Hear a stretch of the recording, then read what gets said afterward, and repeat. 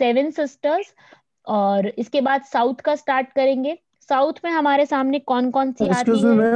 हाँ जी।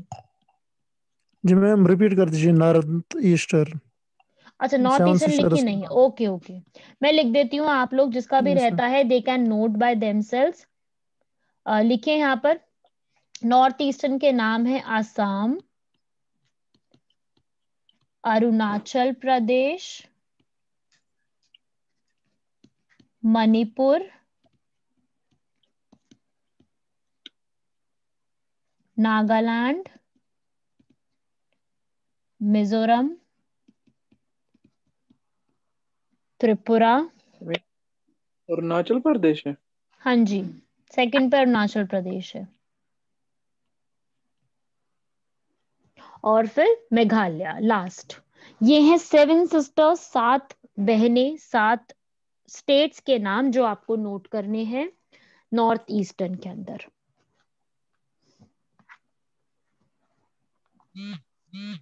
उसके बाद ये सेवन हो गई यहाँ पर प्लस वन इसको ब्रदर कहा जाता है। नहीं, मैं ये नहीं बोल रही कि ये ब्रदर ही है उनका। जस्ट इनको ब्रदर के नाम से डिनोट किया जाता है कि क्योंकि ये भी बहुत छोटी सी स्टेट है सिक्किम बहुत छोटी सी है तो साथ में है, इसको इस नाम से डिनोट कर दिया जाता है। अदरवाइज़ ऐसा नहीं कि इनका भाई यही है, ऐसा कुछ नहीं है। ये सिर्फ़ एक डिनोट किया जाता है, एक बोला जाता है कि एक ब्रदर है उनका सिक्किम। ऐसा कहा जाता है, ठीक है? तो बस मैंने आपको जो चीज़ कही जाती है, वही मैंने आपको बताया यहाँ पर। और साउथ कंप्लीट करो, लिखो साउथ में कौन सी आती है? कर्नाटका, केरला, तमिलनाडु और फिर लास्ट में एक बचती है, कर्नाटका, केरला, तमिलनाडु आंध्र प्रदेश एंड तेलंगाना। आंध्र प्रदेश से ही सेपरेट होकर के तेलंगाना बनी है। वो है हमारी लास्ट स्टेट जो बिल्कुल रिसेंट बनी है। जम्मू कश्मीर और लद्दाख तो यूनियन टेरिटरीज बनी है। मैं अगर स्टेट की बात करूँ तो वो तेलंगाना है। ठीक है? कब बनी है? 2014 में इसको सेपरेट किया गया है। और दो अलग अलग जो है स्टेट्स बना दी है यहाँ पर। तेलंगाना को अलग बना दिया और इसको जो है आंध्र प्रदेश को अलग कर दिया गया था। दोनों स्टेट को अलग कर दिया गया था। तेलंगाना से। तो ये आती है साउथ के अंदर। ये सारी स्टेट साउथ में है, ये नॉर्थ ईस्टर्न की है। यहाँ तक क्लियर है सबको? बड़े आगे। अब इसके अंदर स्टेट्स के नाम आप लोगों ने लिख लिए। कुछ खास चीज़ें स्टेट्स की, वैसे तो बहुत सारी हैं। ऐसा नहीं कि स्टेट्स के बारे में कुछ खास नहीं है, और आप बहुत सारी चीज़ें पढ़ भी चुके हो। आप अंडमान, निकोबार, या आइलैंड्स जो हैं हमारे मतलब यूनियन टेरिटरीज हैं इनके बारे में आप पढ़ चुके हो। आप इनके बारे में कोराल रीफ्स क्या है वो पढ़ चुके हो, इंदिरा पॉइंट पढ़ चुके हो। उसके अलावा छोटे मोटे पॉइंट्स जो हैं ये वाले, आप ये काफ़ी सारी चीज़ें पढ़ चुकी हो। तो वही सारी चीज़ें हैं इसके अंदर, सेम सारी चीज़ें हैं। मैं आप लोगों से पूछना चाहूँगी, आपने एक वॉर का नाम सुना होगा, कलिंगा वॉर। ये कलिंगा वॉर कहाँ पे लड़ा गया था? ये आपके प्रीवियस ईयर में आया था क्वेश्चन कि कलिंगा वॉर जो है वो कौन सी स्टेट में इसमें से लड़ा गया था? सो so, कलिंगा वॉर जो है बहुत फ़ेमस है अशोका का वॉर अशोका दी ग्रेट। उनकी तरफ़ से वॉर था। तो ये कौन सी स्टेट में हुआ था? No not in Bihar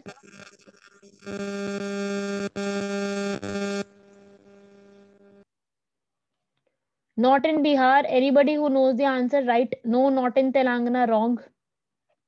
Kalinga war लिखिए ओडिशा ओडिशा आज के समय में ओडिशा है कोई सब लोग तुक्के मार रहे हैं कोई हरियाणा लिख रहा है कोई आंध्र प्रदेश लिख रहा है तेलंगाना लिख रहा है कोई रॉन्ग है answer please write it down Taz कि इसको ओडिशा में लड़ा गया था जो है ओडिशा में इस वॉर को यहाँ पर लड़ा गया था, ठीक है? बहुत सारे वॉर हुए थे, पानीपत की लड़ाई हुई, कालिंजर की हुई, बहुत सारी लड़ाइयाँ हुई हैं। तो उसके अंदर से सबसे बहुत फ़ेमस जो है, कलिंगा वॉर है, वो उड़ीसा में लड़ा गया था। पानीपत भी था, बहुत सारे और वॉर्स भी थे धीरे धीरे हिस्ट्री में भी पढ़ेंगे वो सारी चीज़ें। यहाँ तक क्लियर है, आप लोगों को जो आपका टॉपिक है ना, ये वाला पॉलिटिकल डिविजन उसमें यही पढ़ना है कि पॉलिटिकल इंडिया कैसा डिवाइडेड है। वो तो हमने देखा फ़िज़िकल हम फिजिकली देख चुके हैं। बट पॉलिटिकली इंडिया कैसा दिखता है? क्या क्या स्टेट्स आती हैं, उसमें कौन कौन सी यूनियन टेरिटरीज आती है, इस पे क्वेश्चन आता है, ठीक है?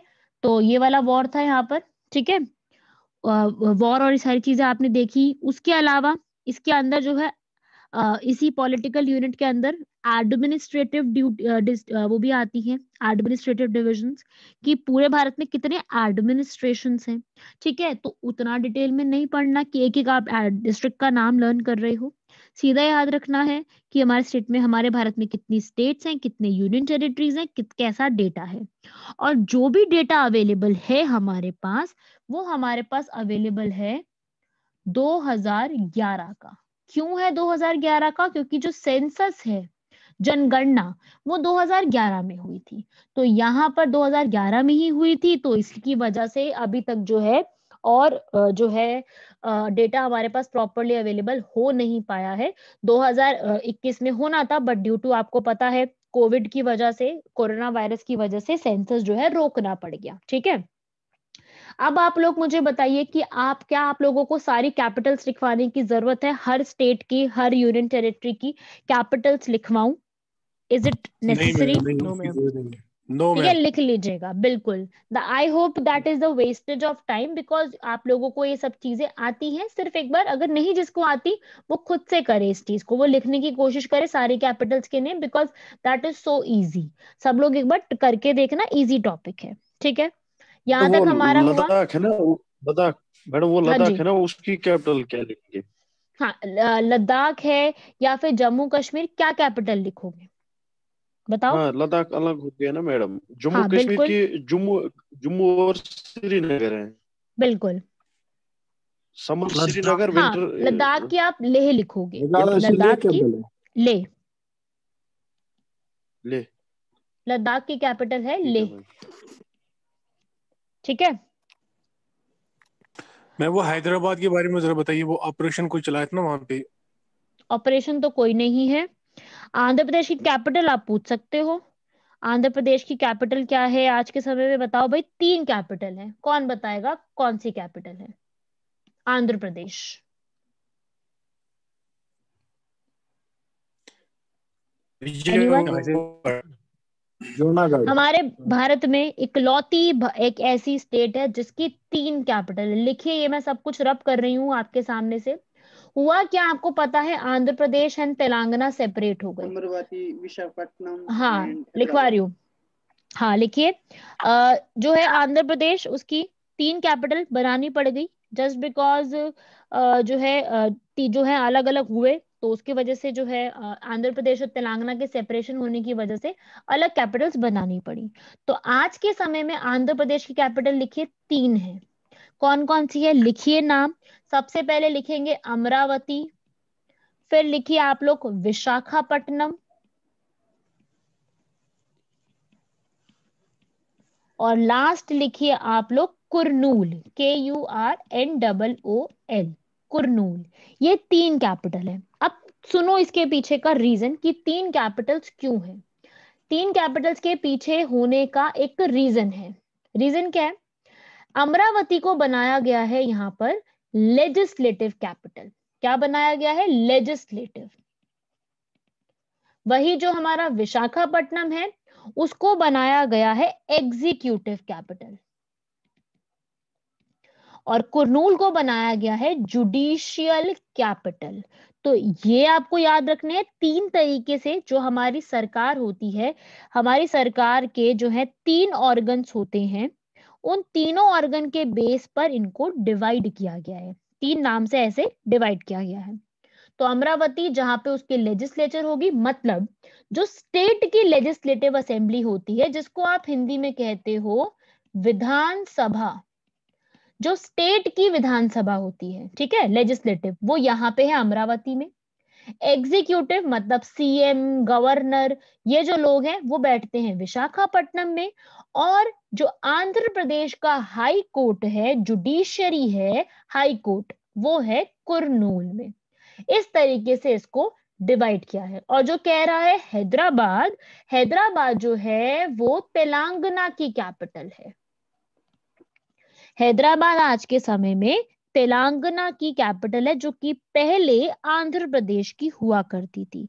तो यहाँ पर आपको याद रखना है, हैदराबाद जो है, वो आज के समय में कैपिटल है उसकी, तेलंगाना की। तो ये आपको पूरा याद रखना है इसके अंदर। पहले तो दो, हैदराबाद को दोनों की कैपिटल बनाया गया था।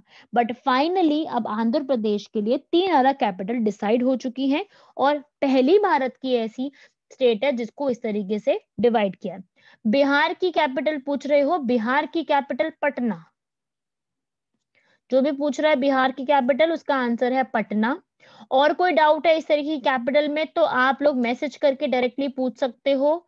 इस तरीके से कोई भी आप लोगों को डाउट है तो। अगर नहीं है तो येस और नो लिखो, हम आगे बढ़ते हैं फिर। जस्ट टाइप इट येस और no fast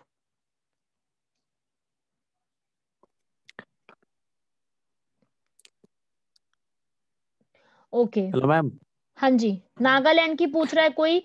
नागालैंड की कैपिटल लिखिए Kohima. K O H I M A Kohima.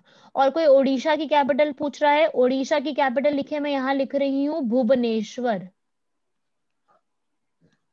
Ma'am Bhubaneswar. हाँ जी. हेलो हाँ जी. मैम बहुत सारी ऐसी किताबें जो है ना हाँ. उनमें उनमें जो मेंशन किया है उनमें मेंशन किया है कि सात यूनियन टेरिटरीज हैं। अरे तो वो पुरानी है ना? तो पुरानी एडिशन है हाँ वो तो तुम पढ़ रहे हो।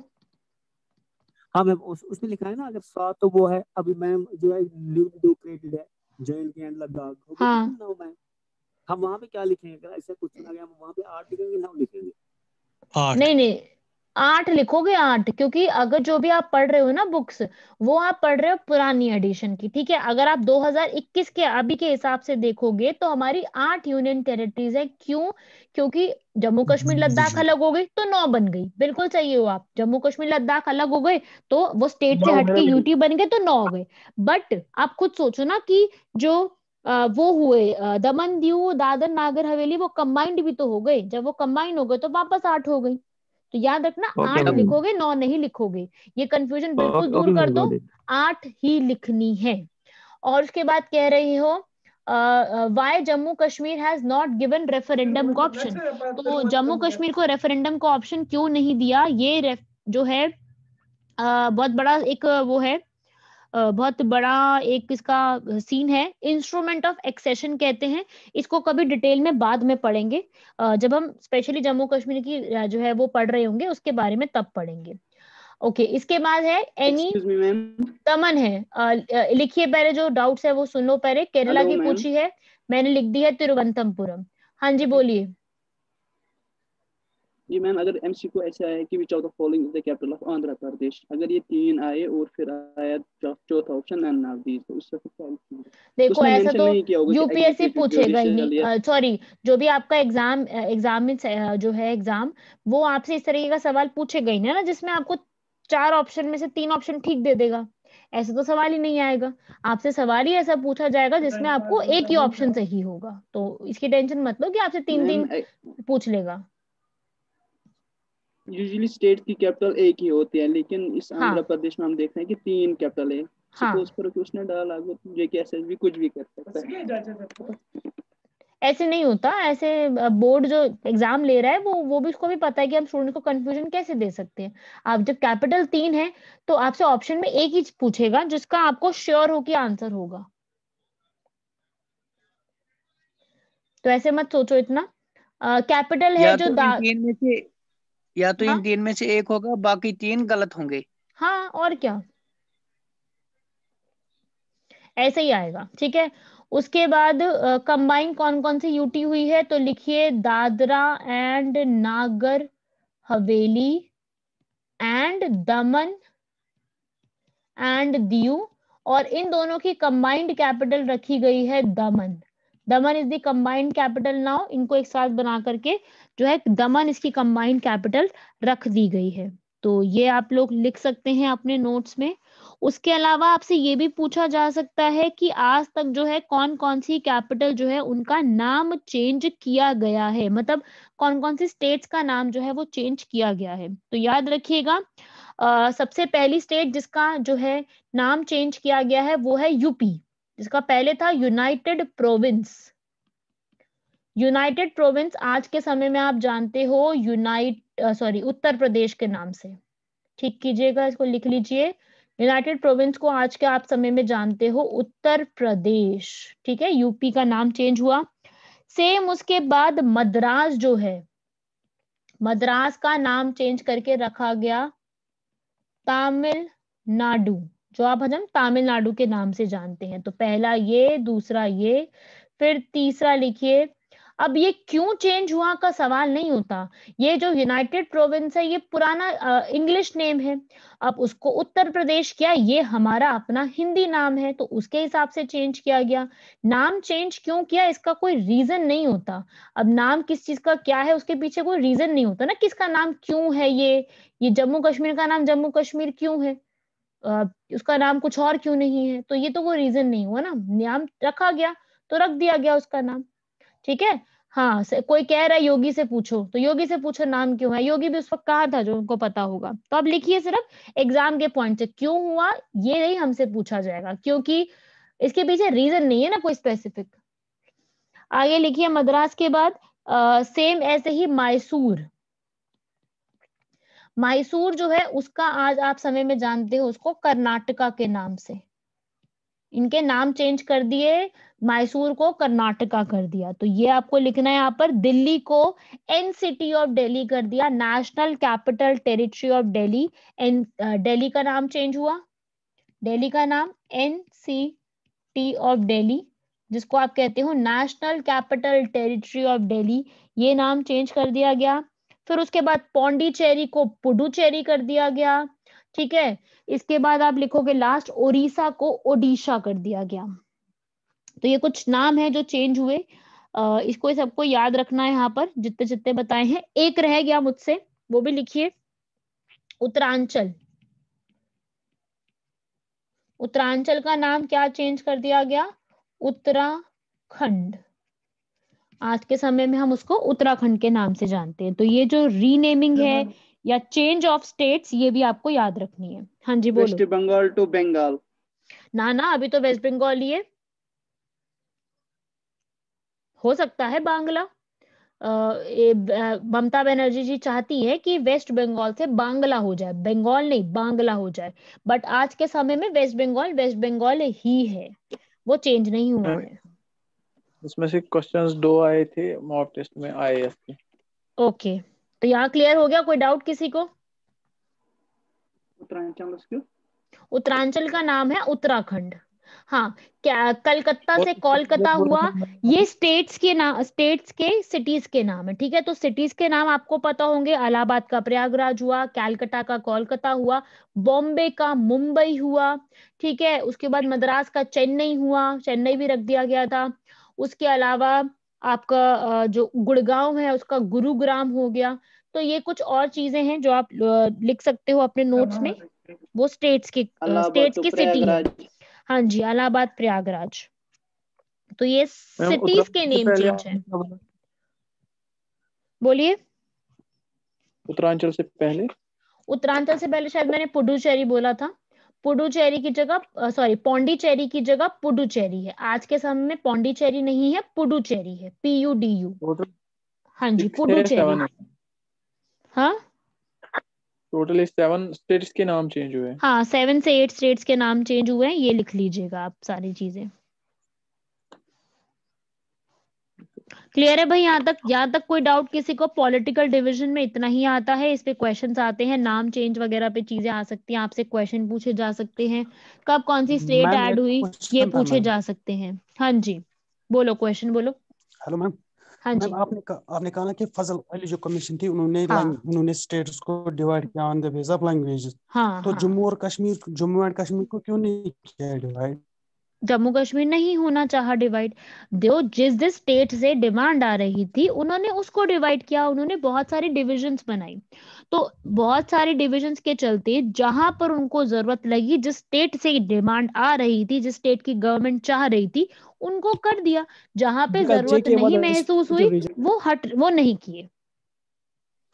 मैडम एक भी ये रीजन ये भी हो सकता है ना कि जम्मू एंड कश्मीर का एसेशन हुआ था इंडिया के साथ 1965 और आपने खुद कहा है कि फजल अली कमीशन बनी थी 1953 हाँ ये भी एक रीजन कह सकते हो आप कह सकते हो ये रीजन एक।